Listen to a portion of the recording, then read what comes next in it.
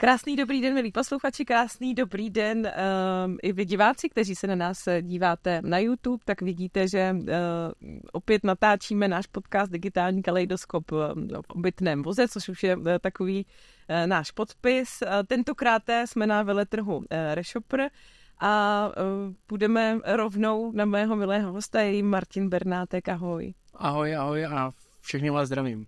Martine, eh, asi se nabízí uh, začít jednoduše tam, kde uh, ty jsi začal a pak budeme postupovat tedy uh, k tomu, kde jsi teď. Ty jsi založil velmi úspěšný e-shop Ovečkárna před vlastně spoustou let už. To není spousta let, jako ono to správně jako sahá do roku 2011, ale začali jsme to původně dělat úplně jako fakt, jako jsme to fakt, že se stala, stala práce třeba v roce 2015, jo, takže vlastně teď je to jako už 9 let, jo. Ale vlastně obytkárnu jsem prodával, když jsem budoval 8 let. Uh, což uh, vlastně může uh, být, ale i nebýt dlouhá doba zároveň, protože když se podíváme na ten digitální svět, který je v zásadě v těch posledních letech už relativně zechlený, tak uh, jako 8 let vést firmu a pak ji velice úspěšně prodat, uh, to si myslím, že je vlastně uh, i na české poměry docela uh, úspěch. Jak uh, vlastně si dozrával k té myšlence, kdy si začal hledat investory? Jak se vlastně hledají investoři pro něco, co ty si založil a je to vlastně takové tvoje dítě? Ne, jako mám jako radost, že to jako bere někde jako úspěch. Samozřejmě já jsem to původně neplánoval. Byla to spíš vlastně vlastně tak, jak vznikla ovečkárna, tak, tak se to jde jako vlastně prodalo. jo, vlastně všechno náhodou. Takže, takže tomto to bylo jako, že jedno nebo ne, jako prostě to bylo takovým přirozeným způsobem, jo. A taky vlastně díky tomu se mi dobře jako potom s tím pracovalo, nebo vlastně jakkoliv vlastně vyjednávalo, nebo prostě po takové celé jednodušší. A potom samozřejmě vyhledávání investorů, nebo je to strašně důležité, jestli, teďka se v tom světě více pohybuju, je strašně důležité, jestli to bereš jako investora, anebo jako, jestli, jestli to člověk bere jako potom prodej podílu. Já jsem měl jsem prodával vlastně podíl. Že to je strašně rozdíl, protože dám třeba příklad. Ve startupovém světě, když řekneš star, a investor, tak to je člověk, který ti půjčí peníze do firmy. Já když prodám podíl, vlastně, tak dostanu peníze pro sebe. Jo, to jsou asi dva jako dvě, dvě, dvě odlišné věci. Každopádně eh, vlastně ať už nad tím přemýšlíš eh, jakkoliv, ať už tedy eh, buď tím, že hledáš investora, anebo někoho, kdo odkoupí tvůj podíl, tak předpokládám, že to hledání je zdlouhavé a musí být opravdu pečlivé, protože asi to nechceš prodat jen tak někomu. Tak jak, jak vlastně probíhalo to, že si správně vybral toho, kdo nakonec odkoupí ten tvůj podíl a vlastně uh, pošleš to svoje dítě vlastně do světa samotné. Takže vždycky uh, takto. Ten finish, jaký tam byl, vlastně nebyl úplně plánovaný. To je nějaké vyústění prostě nějakého prostě celkově toho cyklu v, to, v té firmě s těma lidma, nebo celkově s, tím, s těma fondama. Takže ten původní výběr, což teďka vlastně si můžu odpovědět na to, proč taky dopadlo, vlastně byl finanční. Jo? A, ale vlastně já si myslím, že pokud si někoho do firmy pustíte, tak i tak zpětně si myslím, že je dobře se vždycky rozhodovat, rozhodovat vlastně podle financí. Jako kolik vlastně z toho budete mít, proč byste vlastně prodávali podíl za pár milionů a potom vlastně se s tím jako ne, že jako s někým dělili, ale vlastně nechali se si do toho kecat. Mm. Tak to si myslím, že nejdůležitější buď to nedělat, anebo to vlastně do, do, dobře hned na, na začátku vlastně zobchodovat. Jo? Eh, když ty jsi zakládal ovečkárnu, mm. už jsi zakládal s tím, že uh, ji budeš eh, za pár let prodávat? Ne, tak to, to vůbec nebylo.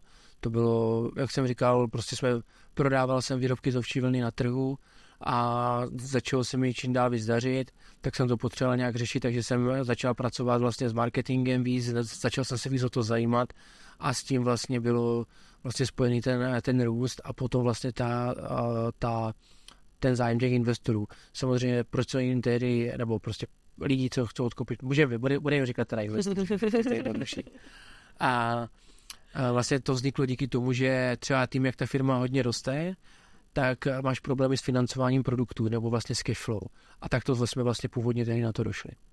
Jo? Jako, že vlastně původně jsme chtěli někoho, kdo by nám vlastně zalepil, ne zalepil, vlastně nebyla ani potřeba nic zlepit, ale ufinancoval ten růst. Přesně, přesně, tak to bych to řekl. Hmm. Jo, že vlastně jako na jednu stranu ve dvou se to liptáne, jo. Uh, teď teda uh, už si prodal svůj podíl, mm-hmm. ale asi vlastně na té druhé straně ty, hmm. ty jsi ten investor. Uh, jaké to je být na tom druhém břehu?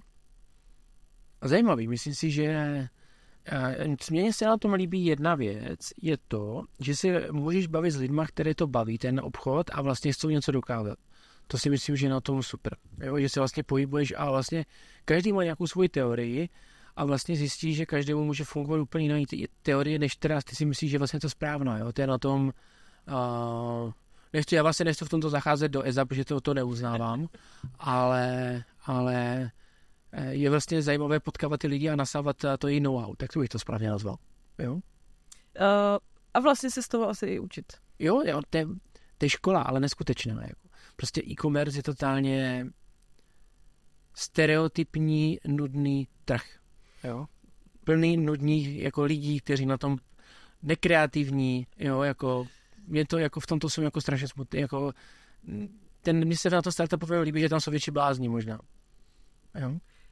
Um, ale jsou vlastně i startupy, které uh, už si říkají startupy relativně dlouho a vlastně uh, už, už pronikají víc, řekněme, do toho e-commerce, že, že už jako ze startupu se stává opravdu jako zavedená funkční firma, mm-hmm. tak uh, není to možná příslip do budoucna toho, že uh, by vlastně už i ten e-commerce trh se za, začal plnit i těma kreativníma lidma z těch startupů víc?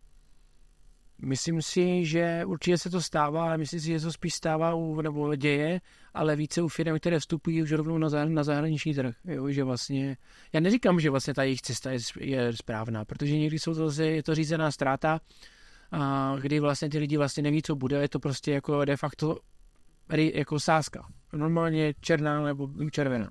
Jo? To je vlastně ruleta. Jo? Ale vždycky podívám, že to vždycky někomu nějak, vždycky nějak vyjde, nebo to vlastně nějak věřejší. Jo?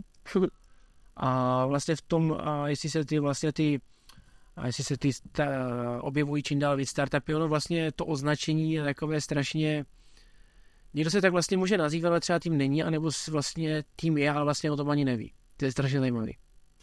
Um, s, s, těma, nebo s, s, s těmi znalostmi, které máš z podnikání mm. a teď eh, s těmi znalostmi, které nasáváš eh, od těch různých lidí eh, z té startupové scény, s kterými se bavíš a, a, a si na tom eh, druhém břehu. Eh, co je pro tebe jako pro investora zajímavé, na, že si řekneš, dobře, ty firmo, to děláš dobře a já uh, bych uh, ti prostě, nebo chtěl bych do tebe zainvestovat. Myslím si, že nejdůležitější úplně je chemie, jo, um, a čas, jo to jsou dvě asi jako nejzásadnější věci, jako vlastně to nechat plynout, jo? protože já jsem třeba zvyklý to všechno řešit hned, ale možná se někdy vyplatí trošičku zbrdit a vždycky vlastně, když si myslí člověk, že mu to uteče, někdo dostává potlak, tak ve finále jsem zjistil, že i kdybych to neuzavřel ten obchod a vlastně počkal, tak dostanu úplně stejné podmínky jako po tom půl, půl roce vlastně, jo? že se nic vlastně nezmění. Jo? Takže vlastně čas a myslím si, že ta chemie je strašně důležitá, že vlastně dělat jenom biznis, protože na tom vyděláš, si myslím, že nikdy ne, nebude tak, to tě bavit nebude. A jsou nějaké typy možná uh, uh, firm, které tě baví víc a které tě baví méně? A vlastně si to rozdělí, jak chceš teď. A, mám to nějak vyhraněné, ale pak jsem zjistil, že třeba přišel nějaký nápad, který mě úplně jako nadchl a vlastně bylo to úplně z ničeho jiného, než to jsem říkal, že dělat nebudu. Jo? Nebo jako teďka nedokážu říct přímo příklad, ale už jsem se s tímto setkal a, já, a proto jsem vlastně zmínil to slovo chemie a ta chemie je strašně důležitá. Vlastně přijde ti dobrý nápad, přijde nadšený člověk, uh, má dobré nápady, třeba fakt chce pomoct, jo, tak si myslím, že tohle je hodně zajímavý. Jako. Nezávisle na tom, co vlastně dělá.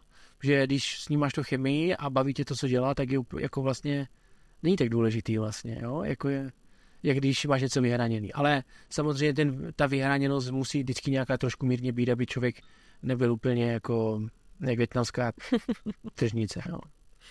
Um, uh, ty jsi říkal, že nejdůležitější je chemie, že, že hodně důležitý je vlastně nakonec i ten čas. Nicméně předpokládám, že takový jeden z faktorů asi jsou i čísla těch firm. Když někdo zakládá... Ve startupech jsou vždycky špatné.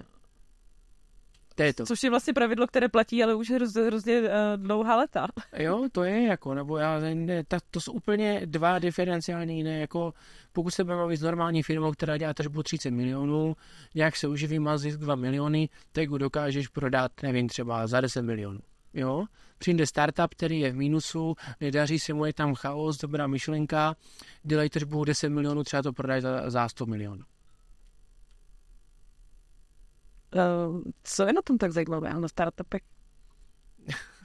já, se, já už jsem to jedenkrát nazval uh, letadlem, jo, ale uh, samozřejmě je výhodnější kupovat klasickou ekvitu jako těch standardních firm, protože ta je levnější, jo. Ale zase jedenkrát něco vyjde a pak tam za to nebudeš. To je takový, je to, je to zábavnější. Um, nebo minimálně, eh, když si děláš třeba, nevím, já jsem si, uh, my jsme si vlastně založili fond, nebo prostě můžeme to nazývat fond, ale prostě firmu, která investuje do firm, eh, proto, že jsme vlastně něco vydělali a něco, měli jsme něco ještě navíc, co můžeme vlastně, o co můžeme přijít a to je vlastně to, co my vlastně hmm. jako jsme do toho vložili. Jo? Takže to je vyloženě mm, ten čas, co by strávil na té vysoké škole, by mě stalo bez tak mnohonásobně víc. Do kolika firm už jste investovali? Aktuálně máme čtyři. Možná ještě prokoukujeme po, po páté, ale ty aktuálně ty čtyři stačí. Um, je dobře, když někdo zakládá eh, startup s tím, že ho za pár let prodá? Myslím si, že to nevadí. Jo, ale musí mít opodstatnění, proč? Nesmí mít vlastně opodstatně, jako úplně finální, jakože zbohatné, což jako samozřejmě je vždycky ten hlavní cíl, ale jako, nebo ten primární cíl, ale mm, musí to být jako vlastně promyšlené, proč to vlastně prodává. Že třeba eh, prodává firmu, kterou ví, že potom osloví eh, větší firmu, která to vlastně už nebude moc udělat, bude pro ní jednodušší tohle koupit třeba. Tak v tomhle případě to nedává smysl. Jo? A uh, myslíš si, že eh, když někdo takto postupuje, že jednoduše založí firmu, hmm. ale má s ní nějaké plány a ví, že prostě za pár let ji bude chtít prodat, a nebo někdo uh, zakládá firmu s tím, že si ji nechá, je, je tam nějaký rozdíl v tom, jak eh, k té práci a k rozvoji té firmy by měl přistupovat, tak aby to nakonec pro vás, jako pro ty investory, bylo vlastně zajímavý?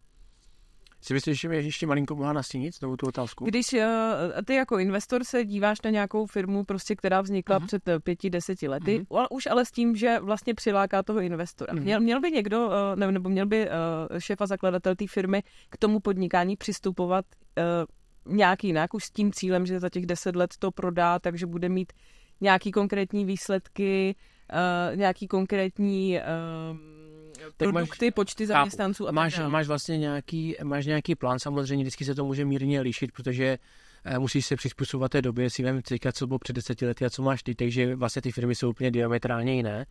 A takže s tímhle vlastně nejde to úplně naplánovat, ale myslím si, že samozřejmě uh, Firma, která se bude prodávat, se řídí mírně jinak než firma, která se buduje pro sebe. Firma, která se bude prodávat, de facto má za úkol nesplnit třeba zisk, ale má za úkol třeba splnit, nevím, počet do počet zákazníků anebo oslovených jako prostě uživatelů, kteří to vlastně tu službu využívají a prodáváš vlastně třeba tu databázi. Jo, to je vlastně rozdíl, že ty vlastně obchoduješ úplně s jinší komoditou, můžu říct. Tak to vlastně si kupuješ třeba zisk u standardní firmy, který ti vlastně jedenkrát se zaplatí hmm. skrze, skrze ten zisk, ale třeba tady vlastně kupuješ vlastně to, co by ti vlastně stálo tu firmu by to třeba stalo za sebe 150 milionů marketingu hmm. de facto, takže vlastně si koupí za 100 milionů tento počet uživatelů třeba. A data. Ano, hmm. dál, jo, jako. Ale je zajímavé, nebo já jsem osobně neviděl, nebo jsem se nesetkal, zatím to teda nedělám dlouho, ale i vlastně celkově u jsem se nesetkal s firmama, které někdy něco koupili a pak to nějak jakože pohltili, že by to úplně nějak jako by to bylo úplně extrémně prospěšné. Možná to je tím, že jsem nebyl v tom detailu, nebo nemám o tom takový přehled, ale jenom v také Allegro je to ukázka, hmm. jo, to byl chaos, jo, ale ten chaos není jenom jako to, jo, ale cokoliv, kdekoliv, jo, jako většinou zjistíš, že z pár zákazníků získáš toto, možná nějaké know-how, jestli má zrovna ani takovou cenu za to, jo, nes, nesetkal jsem se s tím, že by to dávalo někde úplně takový jako z mého, z mého pohledu jako smysl. Hmm. Jak se vyvíjí v Česku startupová scéna? Já si myslím, že rychle, jo. Ona je docela i malá. Jo. A bude větší. Já Jak vidíš ten rozvoj? Protože, jak už jsme to nastínili na začátku, hotečkárna byla vlastně taky startup. Nebyla startup, byla to obyčejná firma. Jo, můžeme mi to třeba tady tak nazývali, já jsem ani nevěděl, co to slovo tedy znamená. Jo, a, ale s, můžeme, můžu s klidem říct, že teď vlastně eh, vývoj toho, jak se přistupuje eh, k práci s mladýma lidma a jejich jako rozvoji jejich nápadů a podpoře, jako ze strany státu nebo celkově měst, škol, externího kapitálu jako, jako soukromý firm, je tak obrovská, že je velká pravděpodobnost, že narazíte na člověka, který má vždycky nějaký dobrý nápad, anebo vlastně nějaký dobrý cíl, nebo prostě vytrvalost a že vždycky z toho něco bude. A tomu se jde víc naproti, tudíž si myslím, že za pár let eh, takových lidí bude samozřejmě víc. Což bude znamenat to, že ten trh bude mnohonásobně větší. A myslím si, že to je dobře. Jo. No, to, je, to vždycky bude dobře. Ja. Říká Martin Bernátek, který byl mým hostem v uplynulých 15 minutách a za to moc děkuju. Děkuju a mějte se hezky.